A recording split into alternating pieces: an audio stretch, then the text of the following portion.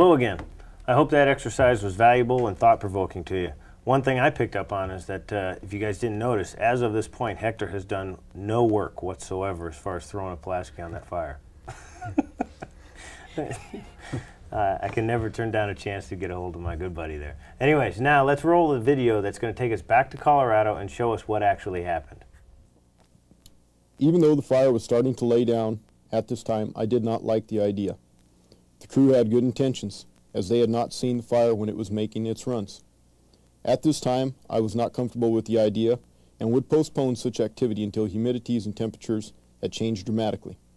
Since I was very reluctant to let them go into the impenetrable Gambel Oak and line these spots, I had them join up with the original crew of five, and they would construct fire line around the right flank, while the smoke jumpers would go around the left.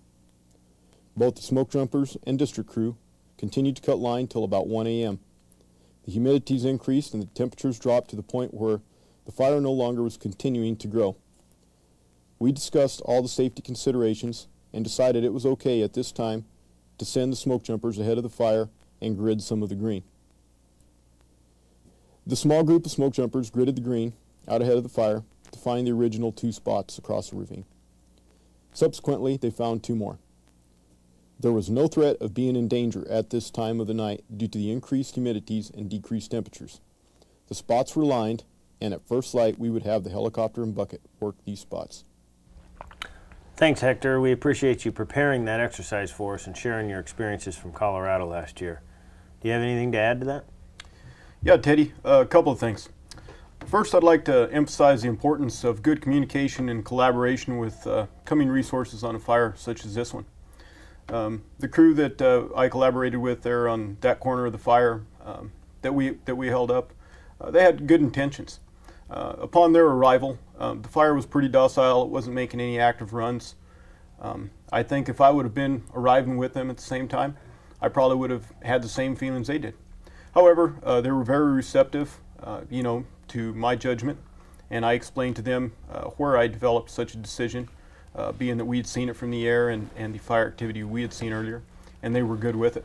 Uh, they joined up with their crew, uh, like I said, in the thing al along the uh, right flank, and uh, did a tremendous job for us. Uh, the end story of this fire is we ended up getting all the resources we asked for, and we were on this fire for three days. it was a fun fire. We all had a good time working together. Those crews and, and their people had to keep myself and the jumpers in line most of the time. Um, Final acreage of this thing, 12 acres. Uh, injury sustained, none. You know, it's one of those we put to bed. Uh, one of thousands of fires that are typical like this every year. Good. Um, how big were those spots, by the way? You, you know, uh, the biggest spot uh, might a tenth of an acre. You know, tenth to a quarter of an acre. But they, you did work them with the helicopter the next day, so. Yeah, I'm glad you mentioned that too, Ted. Um, you know, we uh, lined those spots real good that night. You know, removed the heavies and such. And uh, first light in the morning, I mean, we just put them to bed with the uh, with the helicopter in the bucket. You know, when I first looked at that exercise, my first impression was that maybe you should. You know, at, first I was looking at well, getting later in the evening, I thought, well, shoot, maybe they could get out, go underneath uh, that the crew that was on the the bottom end of that fire, head over to the spots. Um, at first, I looked at it, well, you could do that and put LCES in place, uh, look at it from an LCES point of view, and I thought maybe you could actually accomplish that mission safely and pick up those spots. But, but you saw some things, and, and I just wanted you to kind of go over the things that you saw that, that kept you from sending that crew over. I mean, you, obviously you had a bird's eye view coming in. Mm-hmm. Hindsight, that decision, it would have worked. Uh, like I said, my gut feeling at the time was you know, there's a lot of unburned fuel between the head of the fire, what was the head of the fire, and these spots. And if the weather conditions did change, you know, not in our favor again uh, that evening, uh, we would have had uh, some people in, in a bad situation. Um, so, you know, I, I, see why, why your judgment and, and why you would have opted for that. Well, and that, and that just, uh, the other interesting thing about this fire that, that I think, uh, that I saw was normally local resources uh, in this case, you kind of had the advantage because you saw the fire's behavior and you saw it take some runs before they showed up. Boy, most of the time, and, and you can attest to this because me and you are always working out of region, the local resources are a good resource for us. They're something that I usually ask them for local weather conditions, local weather patterns, and the, the local knowledge that they provide is generally invaluable. So it's kind of interesting in this scenario that, that you got there and saw some behavior before they showed up. Yeah, and and you know on this particular fire itself, we did use a lot of the local people for that. They knew the local protocol with uh, dispatch. Uh, you know, they knew a lot about the weather in this area. They'd been fighting fire for you know several weeks uh, in in the close proximity to this fire, so we did use them. You know, for a, a lot of local knowledge, and, and they were real handy to have there. That was a good application of LCES, and once again, we're looking at a fire that didn't make the 6 o'clock news, so it was a success. Anybody else have any comments on it? I actually do, Ted. Um, Hector, I, I, really like the way you you know set this uh, this exercise up and explained your usage of LCES. But my main question is is um, the proximity that you were in to the Battlement Creek um, fatality site and the South Canyon site. How did that weigh on your usage of you know your safety measures that you were in place, putting in place?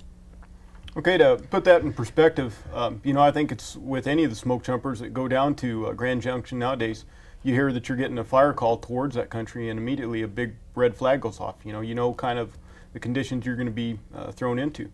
So, uh, you know, first first thought is, okay, we're going to that uh, Gambel oak country over there. Second thought, when you see the big convec convection column when you're just off the ground at uh, Grand Junction, you know, you got a second red flag that goes up. You know, so uh, yeah, it was a big consideration on, on why decisions were made like that in that country. And I think not only for smoke jumpers, but I think that uh, anybody that's fought fire in that country would agree with me on that. Good. Anything else? You guys got anything? I don't know. I think you answered my questions. Good job. Uh, I thought that was a real good, real good scenario that you brought up, and uh, I appreciate you sharing it with us. So anyways, why don't we uh, go ahead and change our focus now and talk a little bit about another problem that the fire community is facing at probably an increasing rate, and that is the urban wildland fire interface. This is the area of our job that seems to receive the most media attention, as well as kind of raise the hair on the back of some necks uh, for people. It's a very dangerous part of our job, and it involves some complexities that are not found in strictly wildland fire situations. The nine urban wildland watchout situations are listed on page 11 of your notebook. Let's start by getting some comments from a person who works in this area and that faces it and faces this problem uh, quite often, and that is, of course, Nicole. Nicole, what does urban interface mean to you? Well, to me, Ted, urban interface is something, you know, it raises the hair on the back of my neck like you wouldn't believe. But um, it's something basically that's out there in the wildland area or abutting up to the wildland area that you know, nature never actually intended. It's something that's man-made, whether it be a single cabin, an old uh, logging mill, maybe up in up in the northwest somewhere, or whole communities actually. But I guess the actual definition, as stated in S205, is that line, area, or zone where structures or other human development meets or intermingles with undeveloped wildland or vegetative fuels. But um, on the Las Vegas district, most people there, you know, when they drive into southern Nevada, they're like, you know, what kind of problems do they actually have? All I see is yucca, cactus, and pretty much smart, you know, sparse fuels.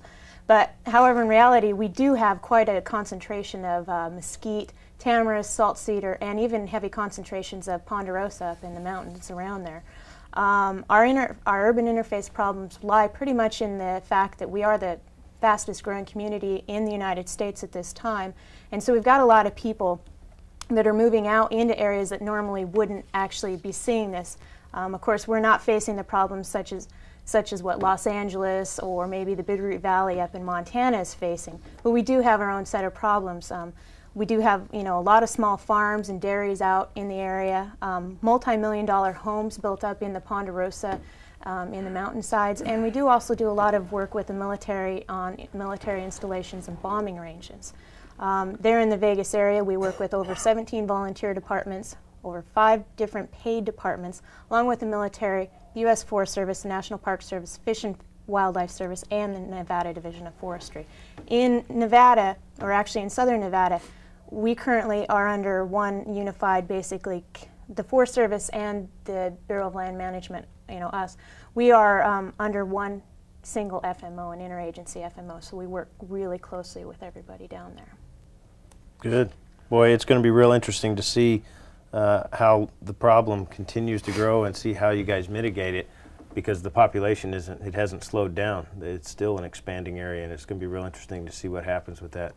How about the southern area, uh, Lamar? You guys deal with a lot of cooperators, and you guys have your own set of issues down there concerning urban wildland interface.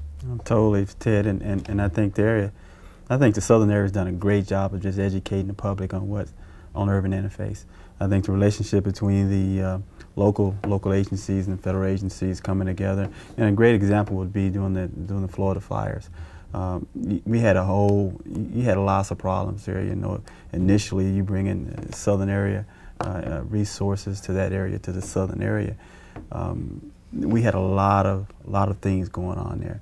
I think I think by going into those areas and educating the public on, on why we're there and what we're actually doing, um, just dealing with just resources and and and trying to build some type of partnership between them. I think the southern area has done an awesome job of doing that.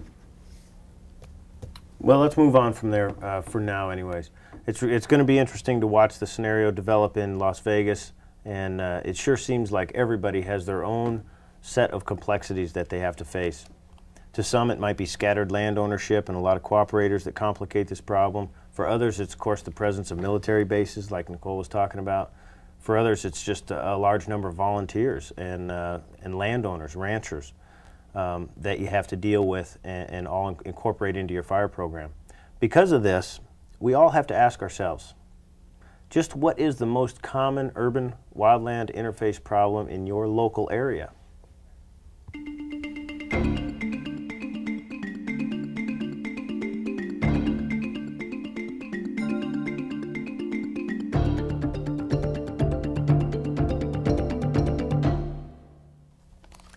Well, Brad, why don't we uh, take? Why don't you take a crack at this one and talk about some of the interface issues that the Boise faces? Well, during the 1990s, the frequency of fires involving wildland-urban interface began to increase within the Lower Snake River District. Due to the increased number of fires and different agencies responding, it was determined that there was a need for mutual aid agreements and an avenue for interagency training. From that came the development of formalized agreements incorporating federal, county, city, and rural fire departments for mutual aid responses and cooperation during emergency fire situations. Additionally came the formation of Southwestern Idaho Fire Training, SWIFT, which allowed agencies to collaborate and standardize training for firefighters who would be operating in the wildland-urban interface. Some of the problems which were not atypical to the problems experienced Elsewhere in the fire community were communications, training, PPE, and the limitations and capabilities of different equipment. Although not all the problems have been fixed, their large strides have been made. We have also been implementing some other unique trainings, such as a yearly wildland urban interface fire scenario, incorporating federal, county, state, and city personnel. Helicopter dip sites throughout the Boise foothills in conjunction with FEMA and Boise City, and the training and use of county and city firefighters on the Lower Snake River District Helitack crew. All these programs have been a real success. Barriers have been broken, communications um, have developed. you you have a face-to-face -face working relationship with your cooperators. Um, again, large strides have been made, but not all the problems have been fixed.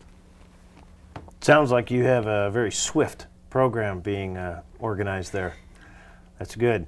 Actually, I do have a good question though. Uh, the scenarios. It's I'm real interested in scenarios because I think we, we don't utilize them quite enough in the fire community. But you actually run a full-fledged interagency wildland urban interface scenario and involve all the cooperators. Is that a is that a big deal? I mean, is that a huge production that you go through every year? Yes. Uh, prior to uh, you know the the start of the fire season around May, we like to uh, develop a scenario incorporating all the agencies that would be involved normally. Um, you know, each year it's a different scenario. Uh, the players involved don't know what's going to be occurring. It's just like a normal dispatch. Uh, it's really a good way to get your mindset prepared for the upcoming fire season. Well, I think that that's great. I think there's a lot of uh, the program that program that you're talking about. I think could possibly be used by other fire communities out there that are just starting urban wildland interfaces and, and starting those programs. Um, the National Fire Plan, of course, addresses that hazard fuel reductions around urban areas. So I think this activity is going to pick up even more. The Southeast, I mean, they've been doing it for a long time. Lamar, do you got any advice or anything that you should add that might help uh, bring some light on this whole subject? Meaning in terms of RX burning and all that. RX burning, Burning. or even just the past uh, cooperations that you've uh, formulated with state and, and local agencies. And that, and that goes right back to education and actually going into some of the, the volunteer fire departments and actually sitting down, talking to them, and, and, explaining to them why we burn. Uh, I think the South's been been real receptive to the whole whole idea of burning in their backyards. A lot of the refuges, a lot of the uh, federal agencies, and there are a lot of major interstates that run through refu refuges in that area. Um, I think that that as a whole, the South does a great job of accepting fire uh, and prescribed burning in that area. Anybody else have anything to add? I guess I'd like to add one more thing. Um, when you're in that urban interface situation, the, the fire orders and the 18 watchouts don't go away. You just additionally have other watchouts which should be uh, standing out to you, which you should be noticing. I think another important point is when we are involved in that urban interface area, there's a tendency there where maybe emotions will maybe then overcome some of what we've been trained to do. And you know, when somebody's screaming at you, you know, save my house, you know, get my dogs out of my house, you know, that's when you've really got to be on top of things and not let not let that emotion take over from what you've been trained to do at that point. Well, that's a good point, and I don't see this problem getting any easier or less complicated uh, in the near future. So let's take a look now at what can happen when the wildland fire spread into the urban interface. Let's hear from some firefighters with recent wildland urban interface experience. what happens in a, a wildland urban interface face situation, uh, like happens in a lot of situations. Uh, another example is getting around a helicopter, which which doesn't seem to to uh, connect right now. But but when people get around a helicopter, they get in a frenzy for some reason. That's why they're very careful to have helitack people to uh, keep you from going berserk and running into the tail rotor. When you get in an urban interface situation, and somebody's house is being threatened and some homeowner is screaming in your ear, you can tend to get in sort of that elevated panic situation and maybe take more risk than you normally would. Uh, this is just something that, that uh, you need to be aware of when you get in that situation and make sure you stay focused on what your job is, what you've learned, and not what that homeowner is screaming in your ear telling you it's best for you to do. Uh, you know, keep your, keep your wits about you and uh, and keep thinking about your 10 and 18. Uh, my main concern with the crew and the urban interface is that losing, I guess, losing control of the crew. Uh, you've got, you know, you've got uh, city fire captains, you know, people that are used to giving orders and expecting whoever they yell at to, to follow that order. And if your crew is, you, you know, the the guy's got in his head that he wants to save the house, he wants to do a good job. Somebody of importance comes up to him and says, "We need you to help carry this hose up this hill," and losing control of my of the people I'm personally responsible from that manner. Uh, that's that's my biggest concern. Anytime you get into a high, I guess, multi-resource area with the crew, where typically you know we're out on the fire line away from all the outside inputs, and so it's much easier to to know your crew's going to be where you expect them to be at. Um, when I was kind of young and dumb, I, I, I, really had a, a feeling, and it, it, it, it, it almost cost us some, some resources and myself maybe. Um, and it was on a handline crew and then also with engines that this happened. So um, I think the urban interface, as you, as you grow older, you start thinking, boy, that was stupid. What were we doing?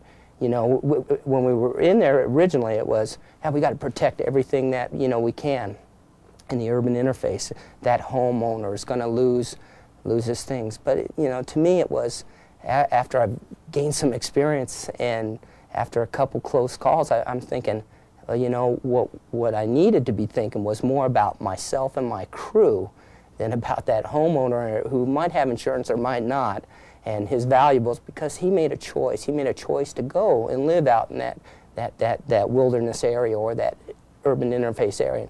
And especially if that homeowner hasn't helped us by doing certain things that we've been trying to get people to do out when they live out there, um, I, I don't have any real heartburn. Now I come into it with a clear head about what I need to do and how to keep myself, my crew, and my engine safe. And, and if, if, if it isn't safe, we're going to pull out, and, and maybe some people are going to feel bad on the engine module. But um, I know myself, I've done the right thing because it was safety I was looking at for myself and the crew. What I look for in triage in an urban interface fire, um, first of all, access right off the bat, because that's how you're getting in. Some, most of the homes, you know, we, in property we see these days, they're off the road. They're not right on the road. You have to drive up a drive, maybe a quarter mile back in there. So um, accessibility is, is right off the bat. Can we get in there? Can we turn around? What size of our engines can we get in there? It's too tight to get a heavy, so let's get the light in here. Um, that's number one, that's what you're looking for. Two would be, um, I'm looking for defensible spacing. You know, give me the opportunity to help you as a homeowner. Um, it's a good old saying, you know, help me help you. That's what I'm looking for. It's if you don't take the time to make or create some kind of defensible area that we can get in and defend your home, it's not manageable. It's an easy decision right there. No, leave it. We're going away. Um, roofs. It's, um, it's amazing how many people are building these homes in urban interfaces and putting shake roofs on. I don't know if it's cost or looks. I think it's looks. I was up in uh, Wyoming last year and somebody had built a, geez, it's got to be a $400,000 cabin out in the woods. And they put a shake roof on it. And you're going, man, you have that kind of money, you can't afford to get some different kind of roof material. Um, also, debris piled up along the houses. You know, I don't want to have to come in with a crew and have to move four cords of wood away from the home. You know, that, that takes up time, precious time. If we do that to save that home, we may lose the neighbor's home. And that's not fair to the neighbor when they've done their part at helping us. Um, any kind of water sources help out too. You know, swimming pools, that makes it easy. I don't have to set up an engine there. It's a portable pump and three people, and we're ready to go. Homeowners may not like it too much, but you save their home and they'll understand. So as you have just seen, there are many additional challenges facing us when wildfire moves into the urban areas. It's important for us to remember that we're not trained as structural firefighters. One of our greatest strengths is knowing our limitations. Sound fireline decision making is made even more difficult in a wildland urban interface environment. The best work we can do in this area should probably take place before fire ever starts in the form of prevention, public education, mutual training, uh, agreements, with our structural firefighting comrades and establishing communication channels with cooperators. But above all, always remember that we want to keep safety first in this environment. Of course, there are tools at your disposal when you find yourself in these situations. The nine urban wildland watchout situations are in your pocket guide and they're in your workbook on page 11. So let me ask, I want to ask the panel some questions here. Nicole, do you have anything to add? Well, yeah, Ted. Um, there was a lot of good information that came out of that the previous interviews there that I kind of like to you know talk about. One of the things was is one of the one of the gentlemen was talking about you know helping uh, helping us help them. Basically, you know that goes that goes a long way to actually helping us because you, sometimes you have a matter of seconds, maybe minutes, to decide whether which house you're going to make a stand at, and you know if they've if they've taken the time to properly prepare their homes then we can make a stand there. Otherwise, unfortunately, we're going to have to leave that house. Um, another thing that Brad was talking about earlier is the 10, the 10 standard orders and the 18 situations that shout watch out don't go away just because we're in the urban interface area. Um, in fact, they're there present even more so. But another tool we have to help us a lot is the nine urban wildland watchout situations. Of course, these don't normally come as intuitively to us as what maybe the 10 and 18s would normally. So I think it's a really good idea that we take out, maybe take out our pocket guide and review those uh, watchouts, the urban watchouts, before we take, you know, we take action. Again, I think it's really important that we stay calm, think clearly, act decisively, and stay away from that proverbial uh, tail, tail rotor that my boss Paul Bannister was talking about. Yeah, exactly. Don't go berserk. Hector, you got anything to add on that? Yeah, I do. Um, you know, I, I, believe that these uh, urban wildland uh, watchout situations should be taken to heart by all firefighters from all agencies on any jurisdiction you're fighting fire on. Uh, you know, my uh, first few years of smoke jumping, you know, we'd hear the urban interface thing all the time, and, and the nature of the beast back then was we'd go jump these fires out in these remote places, and rarely did we ever come across any kind of humans, uh, much less a structure, a home, or anything like that. Uh, times are changing. Uh, it's becoming uh, more of a common occurrence, even with our job as smoke jumpers. So, just like to reiterate and reemphasize that it really is important for everybody to take this seriously. Especially with the increase in RX and prescribed burn programs that are happening. I mean, we're utilizing all resources, not just for IA anymore but a lot of them are becoming involved in, in prescribed fire uh, programs. Lamar, how about the Southeast? And just like you were talking about RH just, just a minute ago, the same thing holds, holds true. I think that Southern area does a great job in going into the to the high schools and, and, and educating uh, the kids. And what happens is that spills over to to the teachers and the parents, and, and they tell the teachers and parents about what they learned in school um, we do a great job in our program of going to the colleges and explaining to them what we do and, and, and how important RX burning is in the Southeast. Probably helps out in your recruitment too. Big time, yeah. big time, because we get a lot of students. Um, and we go to, to and, and, and, we go to a lot of the uh, ma majority of them are black colleges, and, and, and, and, and they're not as familiar with what we do. Firefighting in general, not very, very, very familiar with it, but they're definitely not familiar with RX burning and what we're doing there. Uh, that helps out big time. We get a lot of students because of that. Okay. I'm going to hit you with another question you probably won't expect, but let's assume a firefighter from the west is heading over to the southeast on a fire assignment, right. and you have an urban wildland interface situation going on. Uh, what safety concerns would you want to let them know about that are specific to the southeast that they might not be aware of or may not have thought of when they were uh, getting there? You know, Ted, we do things differently. Um, people coming from the south do things. And you hear so much about the uh, southern firefighters going west and the many problems that they encounter. Same thing happens when you have uh, uh, western firefighters going back to, let's say, Florida, for instance.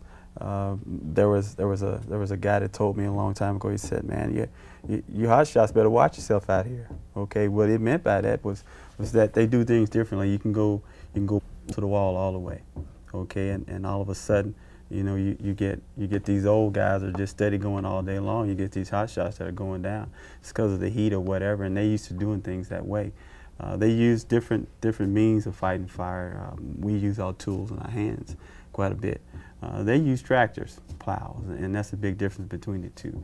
So a lot of firefighting is mechanical, and a lot of what we do is hands-on. So there are big differences. There are big differences in the lingo. Uh, I heard Brad and some of the other panelists talk about the lingo big, big difference between a rise and a, and a ridge, you know, I mean, a hollow and a valley. And so those are some of the things you got to be aware of. Yeah, the terminology. I remember a, a, guy from Florida kept asking me where Tom was. That's right. Tom who? He goes, no, no, no, you know, Tom, where, I, where can I get Tom sheet? Bad joke. Uh, Brad, let, us hear about some uh, urban interface situations that you encounter in Boise. Well, you know, we, have pretty much hit everything that uh, you could encounter throughout the, uh, the regions and the areas that wildland interface is going to occur.